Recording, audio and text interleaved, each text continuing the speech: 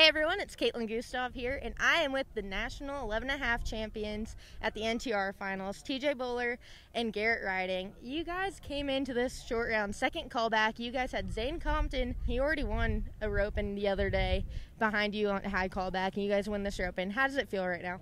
Feels great. I've, I've been struggling all day floating my rope, so uh, I had to make sure I stayed pretty strong over that steer's back and make sure I got him roped.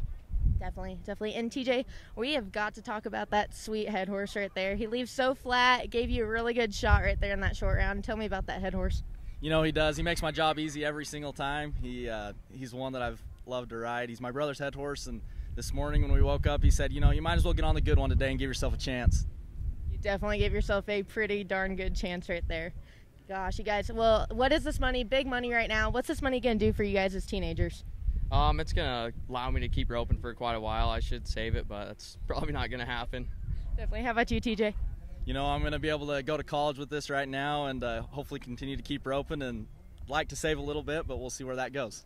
Definitely, definitely. Well, congratulations, you guys. Thanks. Thank you. You had him on your tails. How did that feel to come and dominate right there? It felt really good. I've I've been struggling floating my rope all day, so I really had to stay strong over the over the back of the steer and get him roped. And TJ, man, that horse. t- I mean, not very big, but pretty big. And that horse just leaves so flat, pins his ears, runs straight to the steer. Tell me a little bit about that head horse right there. You know, he makes my job super easy every time. Uh, my, he's my brother's head horse. Lucky enough to let me get on him today. He said this morning when we got out of the trailer, he said, you know, you might as well get on the good one. Let's give yourself a chance today. So I'd like to thank him for the ride. Definitely gave yourself a pretty good chance right there.